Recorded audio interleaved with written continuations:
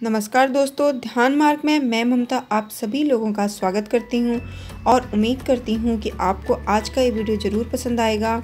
और अगर आपको पसंद आता है तो मेरे इस चैनल को सब्सक्राइब करना ना भूलें, साथ ही बेल आइकन भी दबाएँ ताकि आने वाली वीडियोस की नोटिफिकेशन आप तक पहुँच सकें। तो दोस्तों, आज मैं कोई ध्यान की विधि लेकर नहीं आई हूँ या किसी भी भागवत या कोई अध्यात्म के विषय में चर्चा नहीं करनी। बस मैं अपने कुछ दिनों के, पिछले कुछ दिनों के अनुभव आप सबके साथ साझा करना चाहती थी।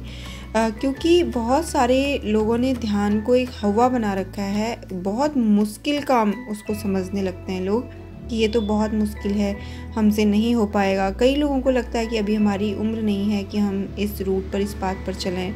तो उन लोगों के लिए ही मैंने ये वीडियो आज का बनाया है। ऐसा कुछ भी नहीं है। ध्यान को आप जितना मुश्किल बना लेंगे। वही वाली बात है कि कोई काम है, हम अपने थॉट प्रोसेस से ही उसको आसान या मुश्किल बना लेते हैं। किसी चीज़ को अगर हम समझेंगे ही मुश्किल तो हम आधा हार वहीं मान लेते हैं।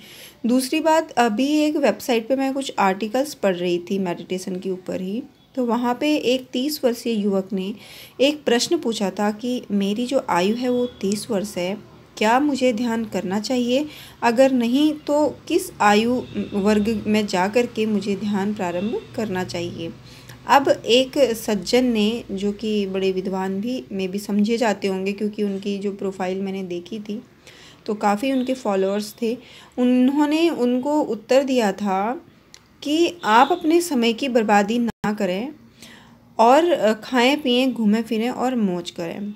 मुझे बहुत हैरानी होती है इस तरीके के उत्तर पढ़ करके, क्योंकि जिनको तो ज्ञान नहीं है, वो तो जिज्ञासु हैं, इसीलिए पूछ रहे हैं कि हम क्या करें और कैसे हम इस रास्ते पर चलें। पर जो पथ भटकाने वाले लोग होते हैं, अपने आप को जो बहुत ज्ञानी समझने वाले कुछ लोग होते हैं और उन, कोई तर्क नहीं है उनके आधार, कोई आधार नहीं, कोई तर्क नहीं है। दोस्तों, सबसे पहले तो आपको मैं बताना चाहूँगी कि भगवान शिव ने माता पार्वती को 112 ज्ञान की, ध्यान की विधियाँ बताई हैं, जिसको संकलित किया गया है, जो हमारा ग्रंथ है, विज्ञान भैरव तंत्र।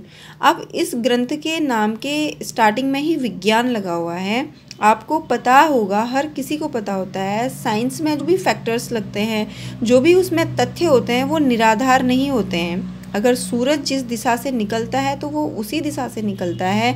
अगर सेव या किसी बॉल, किसी गेंद को आप ऊपर की तरफ़ फेंकोगे तो ग्रेविटी जो है उसे अपनी ओर खींचेगी ही खींचेगी, वो हवा में ही उड़ता नहीं रहेगा। उसी प्रकार से पेड़ ऑक्सीजन छोड़ते हैं और हम कार्बन डाइऑक्साइड तो ये विज्ञान है, ये साइंस है फैक्ट हैं, ये बिल्कुल एक्यूरेट होते हैं। उसी तरीके से ध्यान की भी जो एक्यूरेसी है, वो हंड्रेड परसेंट होती है। उसको हम चेंज नहीं कर सकते। तो ऐसा कोई हवा हवाई बातों में आप भरोसा ना करें। और कोई उम्र ऐसी नहीं होती है, कहीं नहीं लिखा हुआ कि इस उम्र में जाकर ध्यान करें, इस उम्र में ना करें। दूसरी बात है कि मौज करने की। तो मैं उन लोगों से एक सवाल पूछना चाहती हूँ। ये किसने कहा आपसे कि जो लोग ध्यान करते हैं या जो लोग अध्यात्म के मार्ग पर बढ़ रहे हैं, वो मौज नहीं कर सकते?